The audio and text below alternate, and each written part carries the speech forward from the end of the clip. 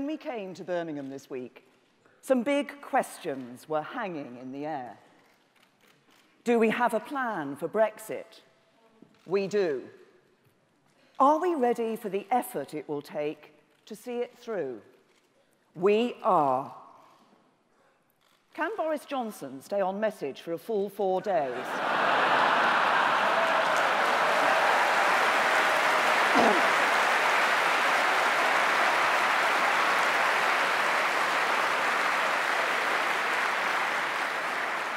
Just about.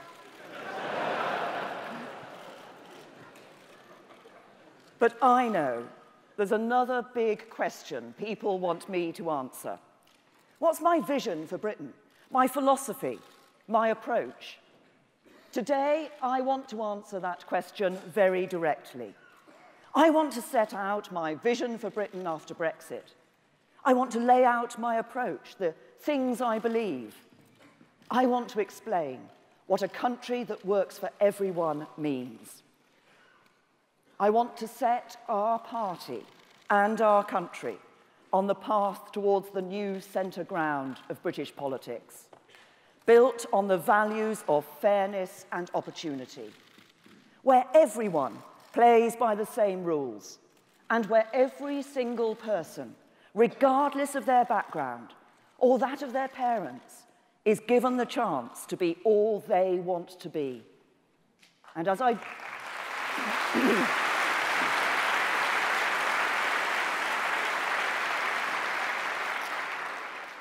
And as I do so, I want to be clear about something else. That a vision is nothing without the determination to see it through. No vision ever built a business by itself. No vision ever clothed a family or fed a hungry child. No vision ever changed a country on its own. You need to put the hours in and the effort too. But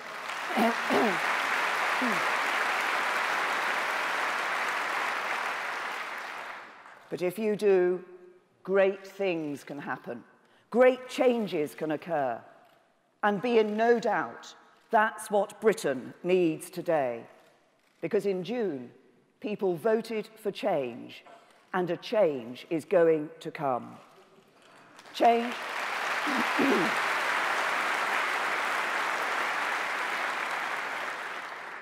change has got to come.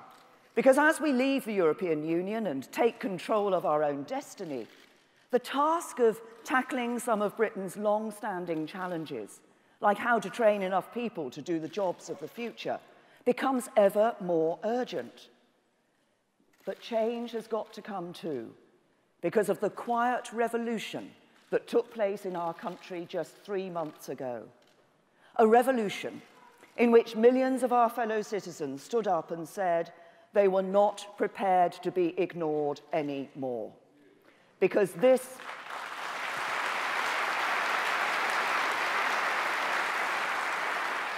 This is a turning point for our country, a once-in-a-generation chance to change the direction of our nation for good, to step back and ask ourselves what kind of country we want to be.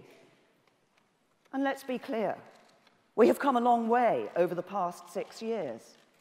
We've brought the deficit down, got more people into work than ever before, taken the lowest paid out of income tax, established a new national living wage, helped nearly a million new businesses to set up and grow, got almost one and a half million more children into good or outstanding schools, put record investment into the NHS, created nearly three million new apprenticeships, and brought crime down by more than a quarter to its lowest ever level. That's a record of which we should all be proud. And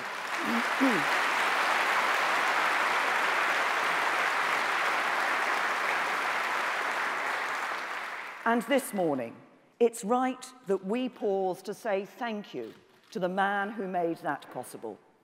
A man who challenged us to change and told us that if we did, we would win again. And he was right. We did change. We did win. The first majority Conservative government in almost 25 years. A great leader of our party, a great servant to our country. David Cameron, thank you.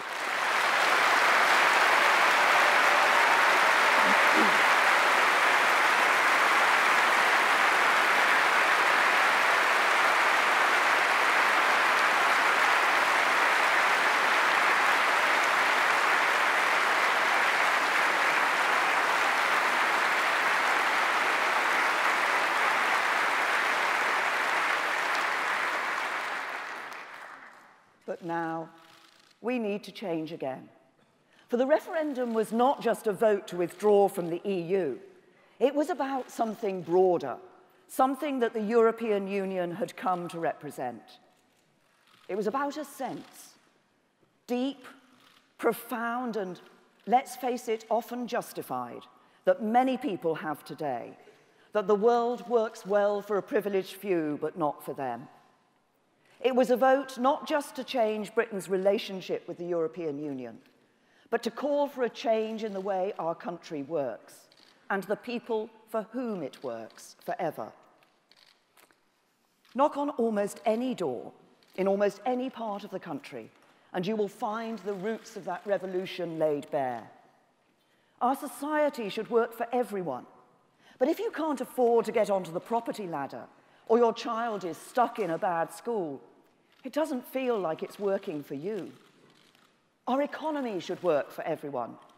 But if your pay has stagnated for several years in a row and fixed items of spending keep going up, it doesn't feel like it's working for you. Our democracy should work for everyone. But if you've been trying to say things need to change for years and your complaints fall on deaf ears, it doesn't feel like it's working for you. And the roots of the revolution run deep because it wasn't the wealthy who made the biggest sacrifices after the financial crisis, but ordinary working class families. And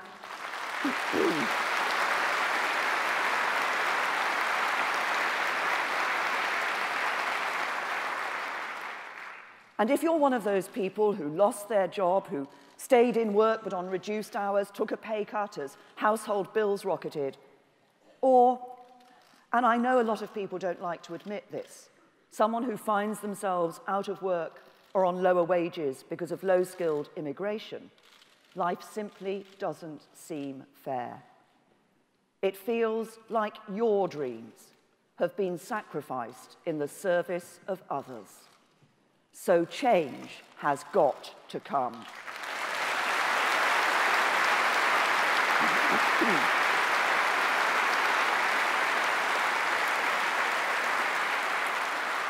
Because if we don't respond, if we don't take this opportunity to deliver the change people want, resentments will grow, divisions will become entrenched, and that would be a disaster for Britain. Because the lesson of Britain is that we are a country built on the bonds of family, community, citizenship, of strong institutions and a strong society. The country of my parents, who instilled in me a sense of public service, and of public servants everywhere who want to give something back. The parent who works hard all week but takes time out to coach the kids' football team at the weekend the local family business in my constituency that's been serving the community for more than 50 years, the servicemen and women I met last week who wear their uniform proudly at home and serve our nation with honour abroad. A country...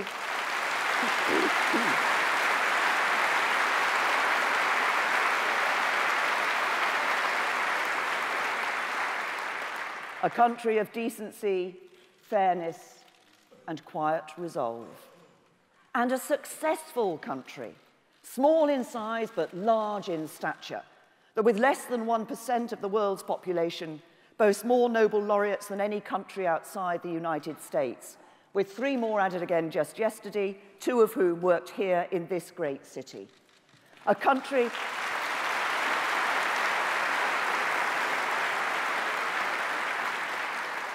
A country that boasts three of the top 10 universities in the world, the world's leading financial capital, and institutions like the NHS and the BBC, whose reputations echo in some of the farthest corners of the globe.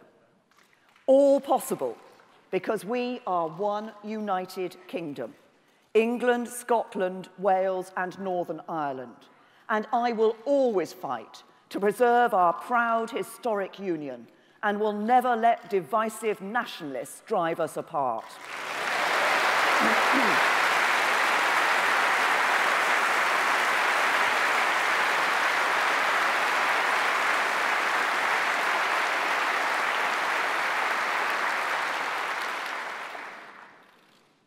Yet within our society today, we see division and unfairness all around.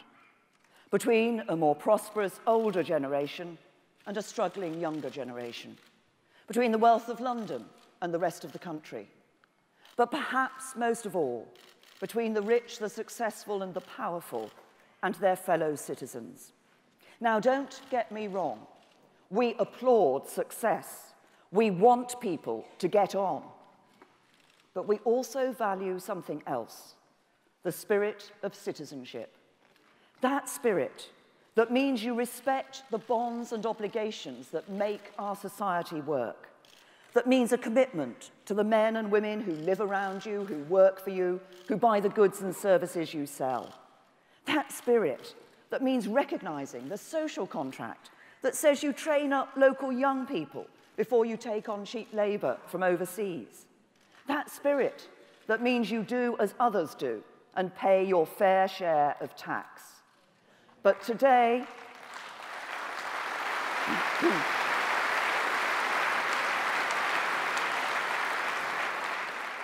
but today, too many people in positions of power behave as though they have more in common with international elites than with the people down the road, the people they employ, the people they pass on the street. But if you believe you're a citizen of the world, you're a citizen of nowhere. You don't understand what the very word citizenship means. So if you're a boss who earns a fortune but doesn't look after your staff, an international company that treats tax laws as an optional extra, a household name that refuses to work with the authorities even to fight terrorism, a director who takes out massive dividends while knowing that the company pension is about to go bust. Mm-hmm.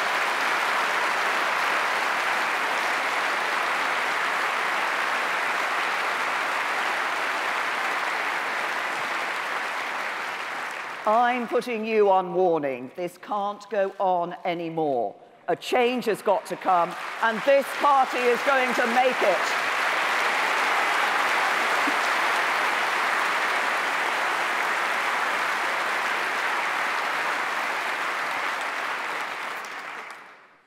So today, I want to set out my plans for a Britain where everyone plays by the same rules and every person has the opportunity to be all they want to be. It's a plan to tackle the unfairness and injustice that divides us so that we may build a new united Britain rooted in the centre ground. A plan that will mean government stepping up, righting wrongs, challenging vested interests, taking big decisions, doing what we believe to be right, getting the job done. Because that's the good that government can do. And it's what I'm in this for. To stand up for the weak and to stand up to the strong. And to put the power of government squarely at the service of ordinary working class people. Because too often, that isn't how it works today. Just listen to the way a lot of politicians and commentators talk about the public. They find your patriotism distasteful, your concerns about immigration parochial, your views about crime illiberal, your attachment to your job security inconvenient. They find the fact that more than 17 million voters decided to leave the European Union simply bewildering. because if you're well off and comfortable, Britain is a different country, and these concerns are not your concerns. It's easy to dismiss them, easy to say that all you want from government is for it to get out of the way. But a change has got to come. It's time to remember the good that government can do. Time for a new approach that says, while government doesn't have all the answers, government can and should be a force for good. That the state exists to provide what individual people, communities and markets cannot, and that we should employ the power of government for the good of the people. Time to reject the ideological templates provided by the socialist left and the libertarian right, and to embrace a new centre ground in which government steps up and not back to act on behalf of us all. Providing security from crime, but from ill health and unemployment too. Supporting free markets, but stepping in to repair them when they aren't working as they should. Encouraging business and supporting free trade, but not accepting one set of rules for some and another for everyone else. And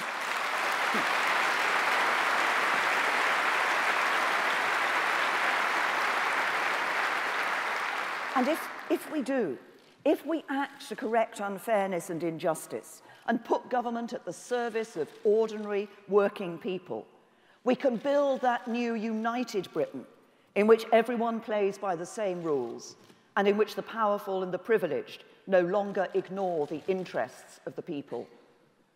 Only we can do it. Because the main lesson I take from the conference last week is that the Labour Party is not just divided, but divisive, determined to pit one against another, to pursue vendettas and settle scores, and to embrace the politics of pointless protest that simply pulls people further apart. That's what Labour stands for, fighting among themselves, abusing their own MPs, threatening to end their careers, tolerating anti-Semitism and supporting voices of hate. You know what some people call them? The nasty party.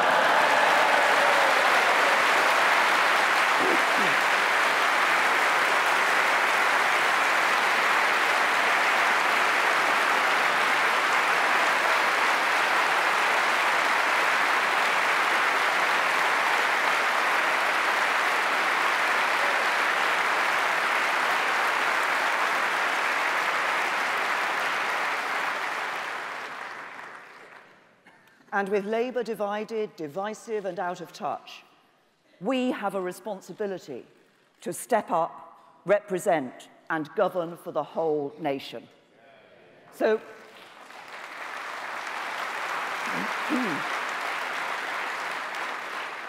so where Labour build barriers, we will build bridges. That means tackling unfairness and injustice and shifting the balance of Britain decisively in favour of ordinary working class people, giving them access to the opportunities that are too often the preserve of the privileged few, putting fairness at the heart of our agenda, and creating a country in which hard work is rewarded and talent is welcome. A nation where contribution matters more than entitlement, merit matters more than wealth.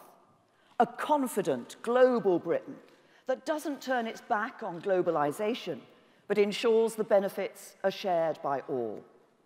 A country that is prosperous and secure, so every person may share in the wealth of the nation and live their life free from fear. That's what I mean by a country that works for everyone. And if we believe in the good that government can do, it's important for people to trust us to deliver the change they need. We can start, as I said on Sunday, by doing something obvious. That is to stop quibbling, respect what the people told us on the 23rd of June, and take Britain out of the European Union. Because it took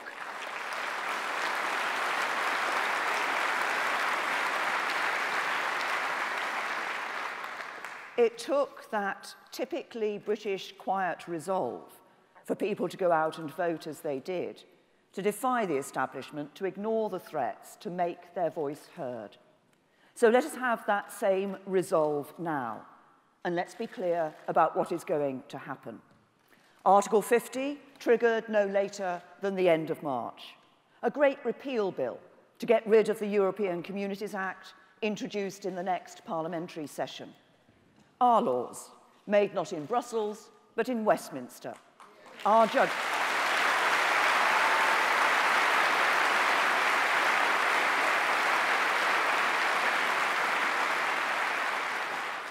Our judges, sitting not in Luxembourg, but in courts across the land. The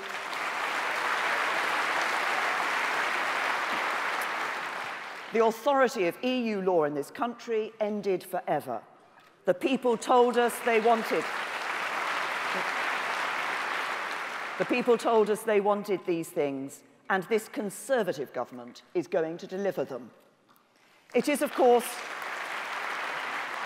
it is, of course, too early to say exactly what agreement we will reach with the EU. It's going to be a tough negotiation. It will require some give and take.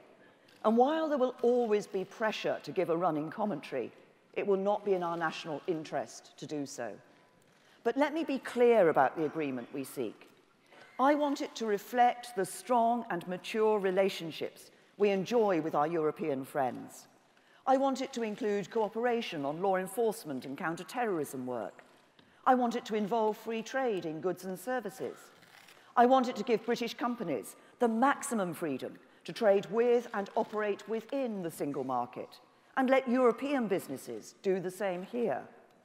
But let's state one thing loud and clear. We are not leaving the European Union only to give up control of immigration all over again. And we're not leaving only to return to the jurisdiction of the European Court of Justice. That's not going to happen. We are leaving to become once more a fully sovereign and independent country, and the deal is going to have to work for Britain. And that Britain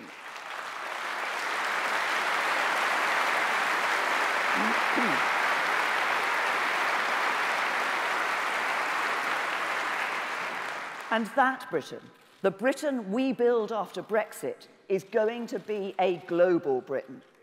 Because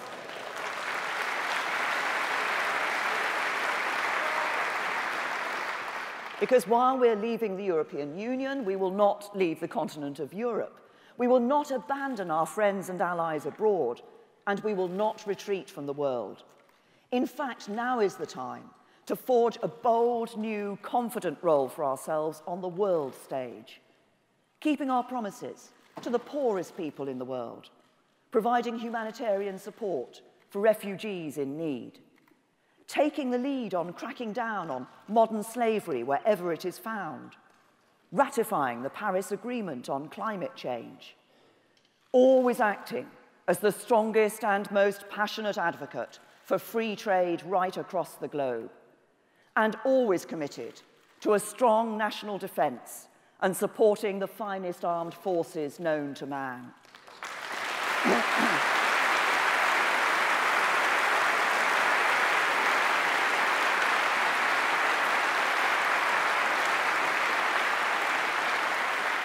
And this week, our excellent Defence Secretary, Michael Fallon, proved not only that we will support them with our heart and souls, not only will we remain committed to spending 2% of our national income on defence, but we will never again, in any future conflict, let those activist, left-wing, human rights lawyers harangue and harass the bravest of the brave, the men and women of our armed forces.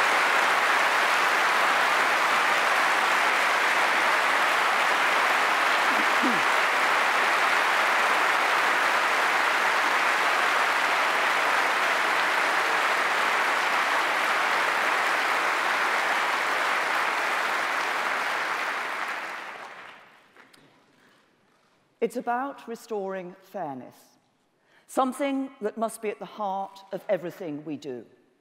Supporting those who do the right thing, who make a contribution. Helping those who give something back. And that's at the heart of my plan for our economy too. An economy that's fair and where everyone plays by the same rules. That means acting to tackle some of the economy's structural problems that hold people back. Things like the shortage of affordable homes, the need to make big decisions on and invest in our infrastructure, the need to rebalance the economy across sectors and areas in order to spread wealth and prosperity around the country. Politicians have talked about this for years, but the trouble is that this kind of change will never just happen by itself. If that's what we want, we need the vision and determination to see it through. And that's why Philip Hammond and Greg Clark are working on a new industrial strategy to address these long-term structural challenges and get Britain firing on all cylinders again. It's not about picking winners, propping up failing industries or bringing old companies back from the dead. It's about identifying the industries that are of strategic value to our economy and supporting and promoting them through policies on trade, tax, infrastructure, skills, training, and research and development. It's about doing what every other major and growing economy in the world does, not just sitting back and seeing what happens, but putting in place a plan and getting on with the job. So we will identify the sectors of the economy, financial services, yes, but life sciences, tech, aerospace, car manufacturing, creative industries, and many others that are of strategic importance to our economy and do everything we can to encourage, develop, and support them.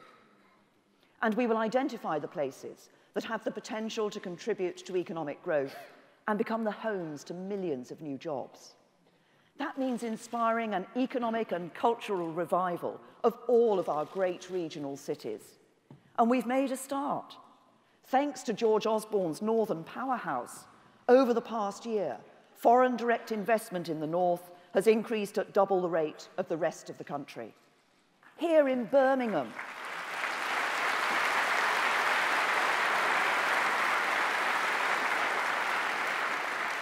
Here in Birmingham, thanks to the incredible Jaguar Land Rover, the West Midlands is the only part of the country that runs a trade surplus with China. And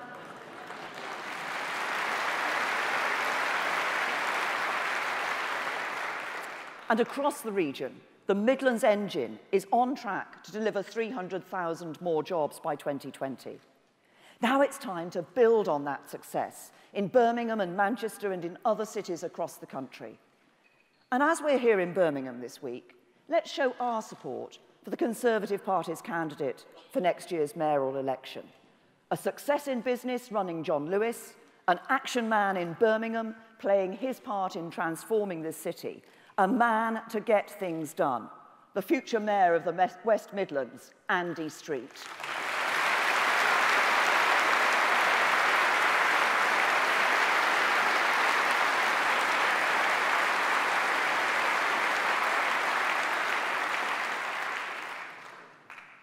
An economy that works for everyone is an economy where everyone plays by the same rules. I understand the frustration people feel when they see the rich and powerful getting away with things that they themselves wouldn't dream of doing and they wouldn't get away with if they tried. I understand that because I feel it too. There's always an excuse, a reason why something can't be done. But when that's used as a basis for inaction, faith in capitalism and free markets falls. The Conservative Party will always believe in free markets and that's precisely why it's this party that should act to defend them. From Edmund Burke onwards, Conservatives have always understood that if you want to preserve something important, you need to be prepared to reform it. And we must apply that same approach today. That's why where markets are dysfunctional, we should be prepared to intervene. Where companies are exploiting the failures of the market in which they operate, where consumer choice is inhibited by deliberately complex pricing structures, we must set the market right. It's just not right, for example, that half of people living in rural areas and so many small businesses can't get a decent broadband connection.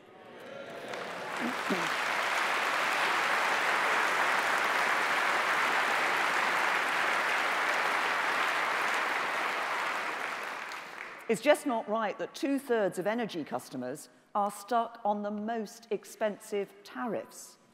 And it's just not right that the housing market continues to fail working people either. Ask almost any question about social fairness or problems with our economy, and the answer so often comes back to housing. High housing costs and the growing gap between those on the property ladder and those who are not lie at the heart of falling social mobility, falling savings and low productivity. We will do everything we can to help people financially so they can buy their own home. That's why help to buy and right to buy are the right things to do. But as Sajid said in his bold speech on Monday, there is an honest truth we need to address. We simply need to build more homes. This means using the power of government to step in and repair the dysfunctional housing market. It means using public sector land for more and faster house building.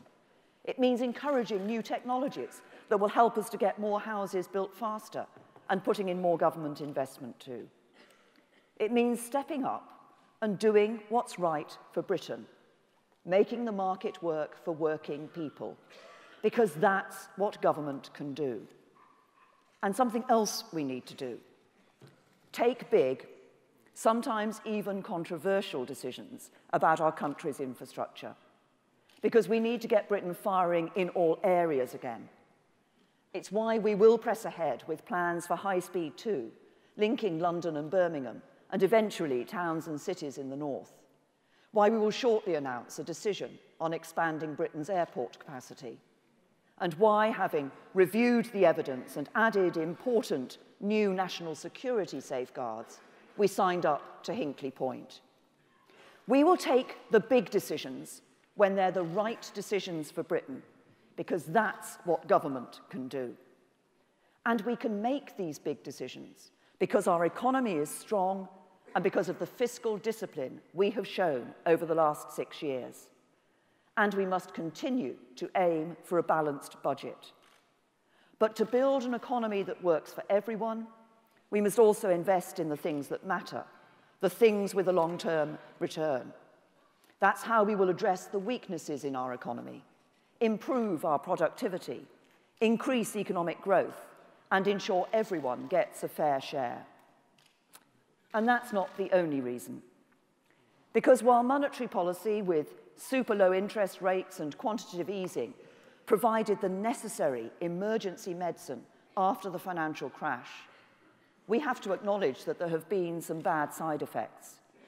People with assets have got richer. People without them have suffered.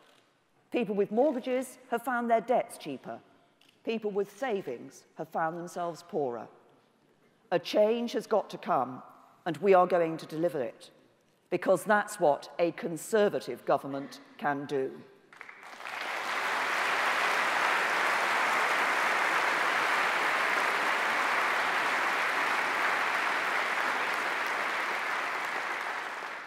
This party will always be the party of business, large and small. But we must acknowledge that the way a small number of businesses behave fuels the frustration people feel. It's not the norm. I know that most businesses and the people who run them are hardworking, entrepreneurial, and public spirited at heart. But the actions of a few tar the reputations of the many. So the party that believes in business is going to change things to help support it. Too often, the people who are supposed to hold big business accountable are drawn from the same narrow social and professional circles as the executive team and too often the scrutiny they provide is not good enough. A change has got to come. So later this year, we will publish our plans to have not just consumers represented on company boards, but workers as well. Because we are the party of workers, of those who put in the effort, those who contribute and give of their best. That's why we announced on Saturday that we're going to review our laws to make sure that in our modern and flexible economy, people are properly protected at work. That's right. Workers' rights. Not under threat from a Conservative government, workers' rights protected and enhanced by a Conservative government. And let me say something about tax. We're all Conservatives here. We all believe in a low tax economy. But we also know that tax is the price we pay for living in a civilized society. Nobody, no individual tycoon and no single business, however rich, has succeeded on their own. Their goods are transported by road, their workers are educated in schools, their customers are part of sophisticated networks taking in the private sector, the public sector, and charities. We've all played a part in that success. So it doesn't matter to me who you are. If you're a tax dodger, we're coming after you.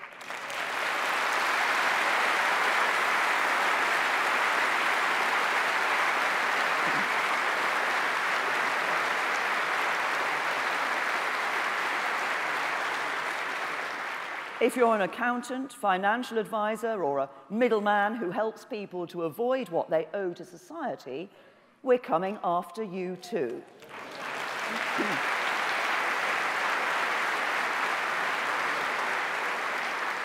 An economy that works for everyone is where, one where everyone plays by the same rules.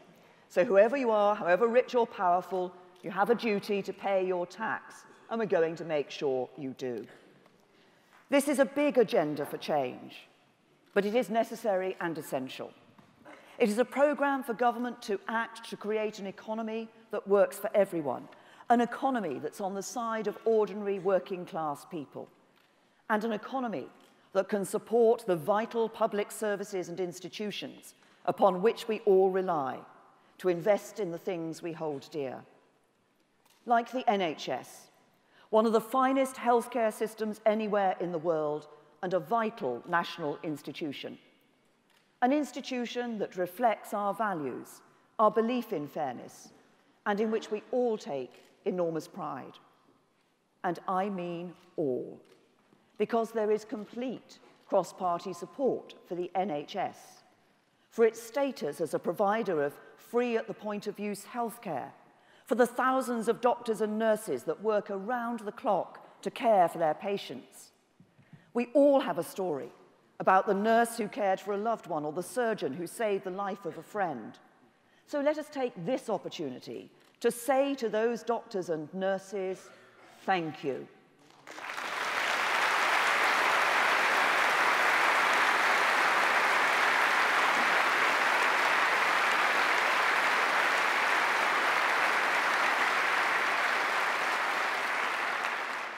The NHS should unite us. But year after year, election after election, Labour tried to use it to divide us. At every election since it was established, Labour have said the Tories would cut the NHS. And every time we have spent more on it. Every election, they say we want to privatise the NHS. And every time we have protected it. In fact, the party that expanded the use in the of the private sector in the NHS the fastest was not this party, but the Labour Party.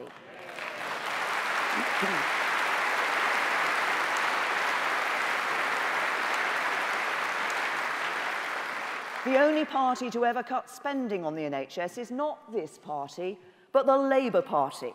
That's what they did in Wales. And at the last election, it wasn't the Labour Party that pledged to give the NHS the money it asked for to meet its five-year plan. It was this party, the Conservative Party, investing an extra £10 billion in the NHS, more than its leaders asked for. And this year, more patients are being treated, more operations are being carried out by more doctors and more nurses than ever before. That's a tribute to everyone who works in the NHS, but also to one man Jeremy Hunt, who is one of the most passionate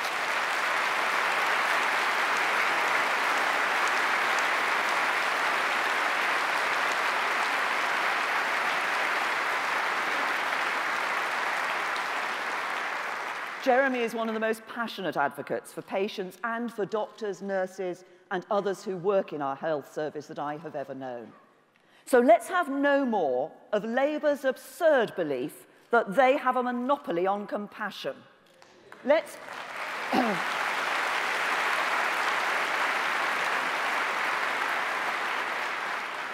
Let's put an end to their sanctimonious pretense of moral superiority. Let's...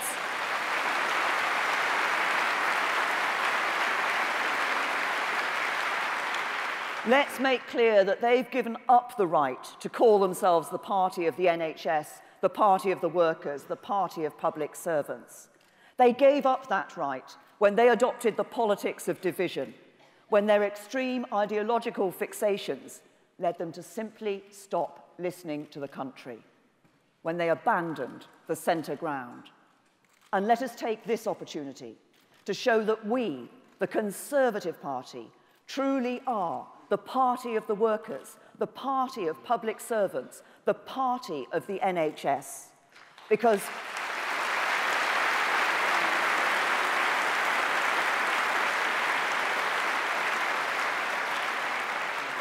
because we believe in public service. We believe in investing in and supporting the institutions that make our country great.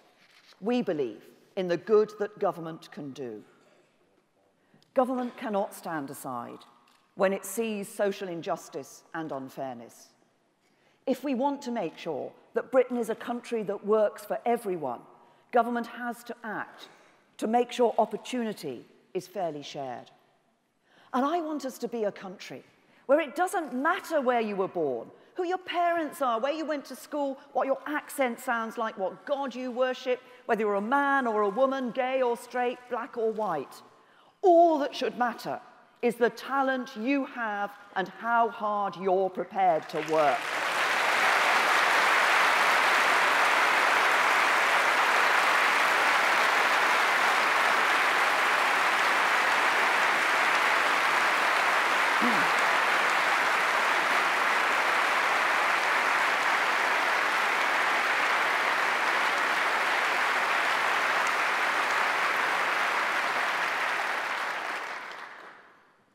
But if we're honest, we'll admit that's simply not the case for everyone today. Advancement in today's Britain is still too often determined by wealth or circumstance, by an accent of, accident of birth rather than talent, by privilege, not merit. Rebalancing our economy is a start. But if we're serious about overturning some of the long-standing injustices and barriers that stop working people from getting on, we need that economic reform to be allied with genuine and deep social reform too. Because a society that works for everyone is a society based on fairness, and only genuine social reform can deliver it. Genuine social reform means helping more people onto the housing ladder. It means making sure every child has access to a good school place. It means never writing off people who can work and consigning them to a life on benefits but giving them the chance to go out and earn a living and to enjoy the dignity that comes from a job well done.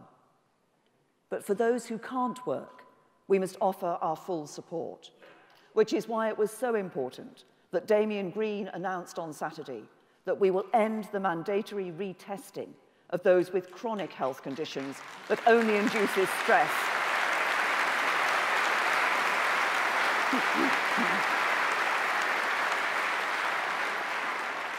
And genuine social reform means addressing historic injustices that hold too many people back. Some of my proudest moments as Home Secretary came when we began to tackle deep-seated and long-standing problems that few had dared to tackle before. I introduced the first ever Modern Slavery Act, bringing in tough new penalties to put slave masters behind bars, with life sentences for the worst offenders. I cut the police's use of stop and search by almost two-thirds and reduced the disproportionate targeting of young black men. And I know our impressive Home Secretary, Amber Rudd, is committed to carrying on that work.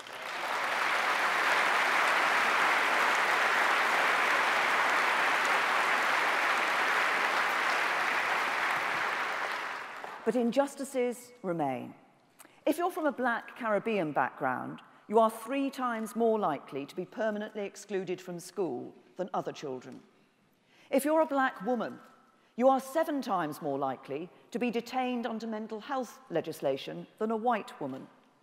People in ethnic minority households are almost twice as likely to live in relative poverty as white people. But it's not just those from minority backgrounds who are affected. White working class boys are less likely to go to university than any other group in society.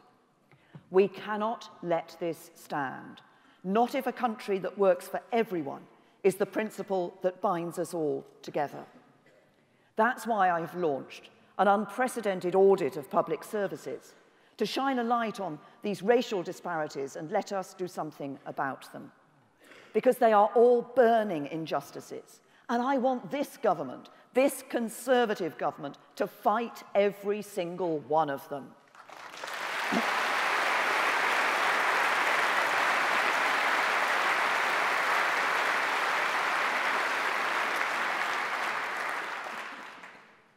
A society that works for everyone is one of fairness and opportunity.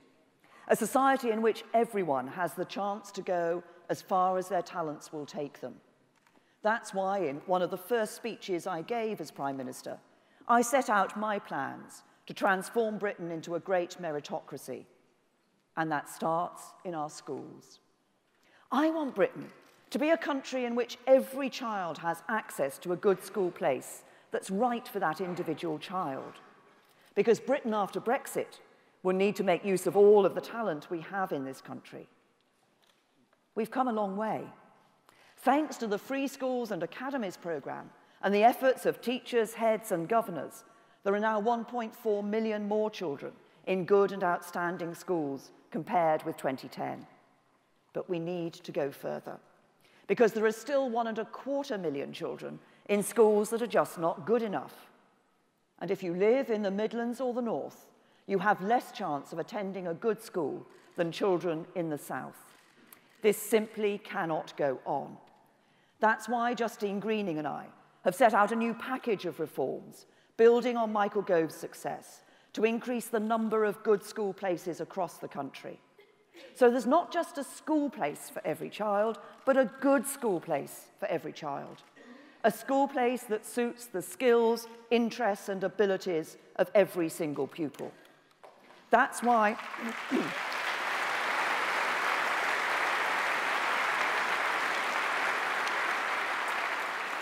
That's why we want more of our great universities to set up or sponsor schools in the state sector, just as the University of Birmingham has done a few miles from here.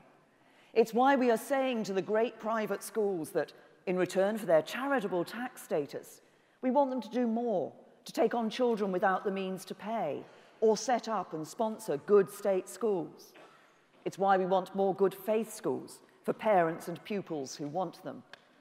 And it's why we have said, where there is demand from parents, where they will, where they will definitely take pupils from all backgrounds, where they will play a part in improving the quality of all schools in their area, we will lift the ban on establishing new grammar schools too.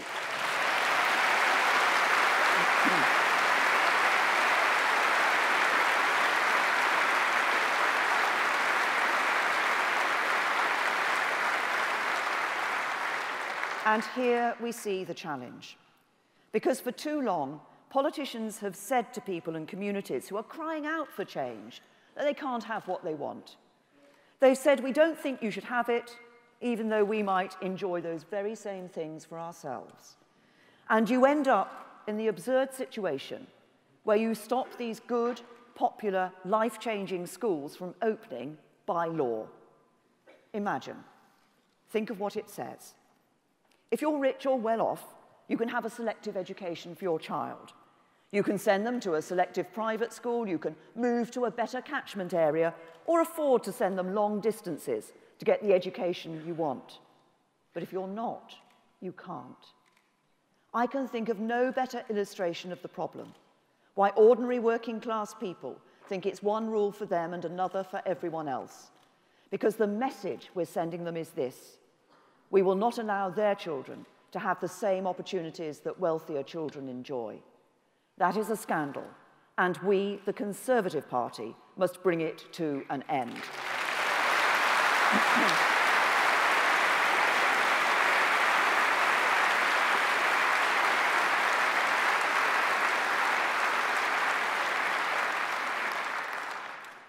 So my vision is for Britain to be a great meritocracy. It's what I've always believed in, the cause that everything I've ever done in politics has been designed to serve. Because a country based on merit, not privilege, is a country that's fair. And when we overcome injustice, injustice and unfairness, we can build that new united Britain that we need. And united, we can do great things. We saw that in the summer in Rio. We saw how individual success was powered by collective effort, how the dedication and talent of one was supported by a united team, and how a government's determination, John Major's Conservative government's determination, to step up and back Britain's success contributed.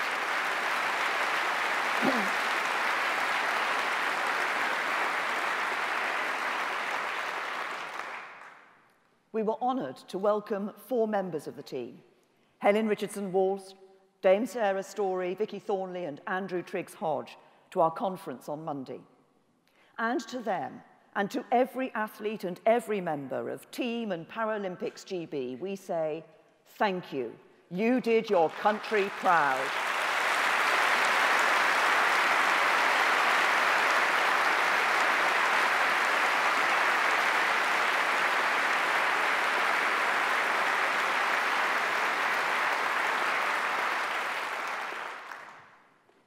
Was a memorable summer for British sport.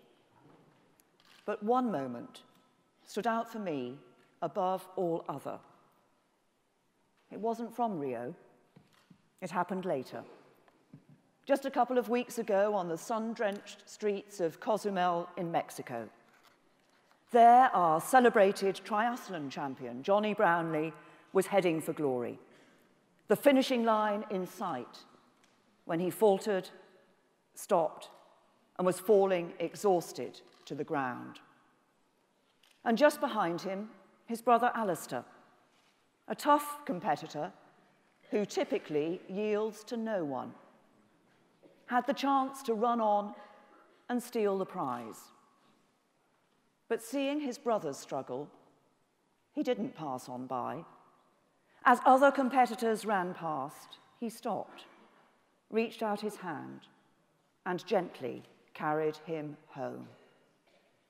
And there, in that moment, we saw revealed an essential truth that we succeed or fail together. We achieve together or fall short together.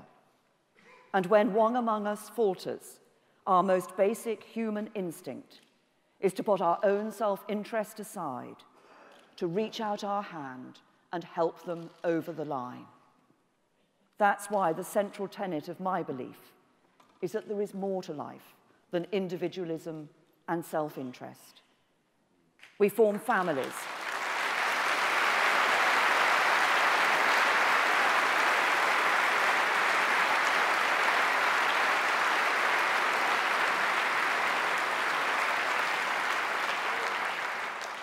We form families, communities, towns, cities, counties, and nations we have a responsibility to one another. And I firmly believe that government has a responsibility too. It is to act to encourage and nurture those relationships, networks, and institutions, and to step up to correct injustices and tackle unfairness where it can, because these are the things that drive us apart. That's why I say today, as I have always said, that my mission and the mission of this party is to build a country that truly works for everyone, not just for the privileged few. It's why when I stood on the steps of number 10 for the first time as Prime Minister 84 days ago, I said that the government I leave, lead will be driven not by the interests of the rich and powerful, but by the interests of ordinary working class people. And this week, we have shown the country that we mean business not just protecting but enhancing workers' rights, building an economy that's fair where everyone plays by the same rules, getting more houses built, more doctors in the NHS, investing in things that will make our economy grow, hundreds of great new schools, universities and fee-paying schools, helping state schools to improve. And yes, where parents want them and where they'll improve standards for children of whatever background, the first new grammar schools to open in Britain for 50 years.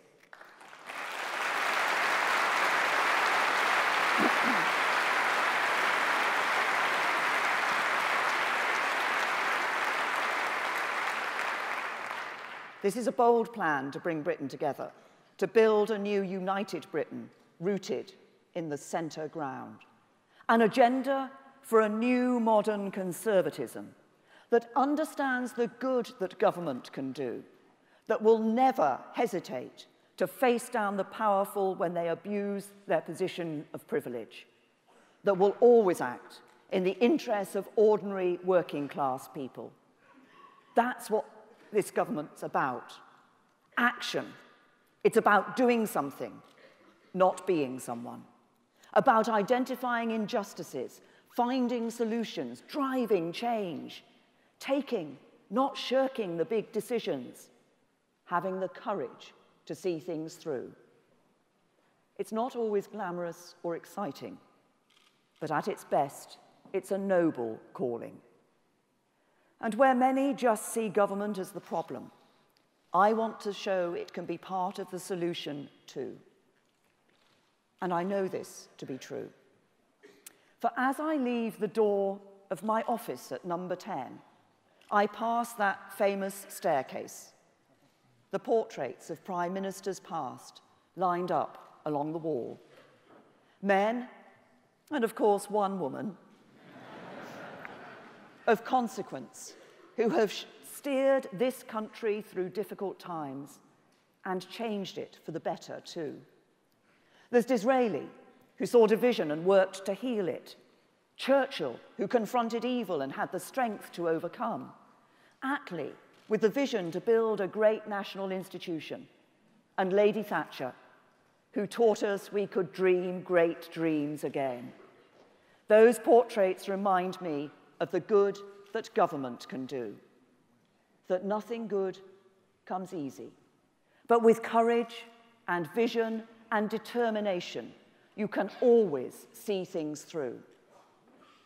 And as I pass them every day, I remember that our nation has been shaped by those who stepped up to be counted when the big moments came. Such opportunities are rare, but we face such a moment today. A moment that calls us to respond and to reshape our nation once again. Not every generation is given this opportunity. Not every generation called to step up in such a way. But this is our generation's moment to write a new future upon the page, to bring power home and make decisions here in Britain, to take back control and shape our future here in Britain, to build an outward looking, confident trading nation here in Britain, to build a stronger, fairer, brighter future here in Britain. That is the opportunity we have been given. And the responsibility to grasp it falls upon us all. So, to everyone here this morning, and the millions beyond, whether leavers or remain, I say, come with me and we'll write that brighter future. Come with me and we'll make that change.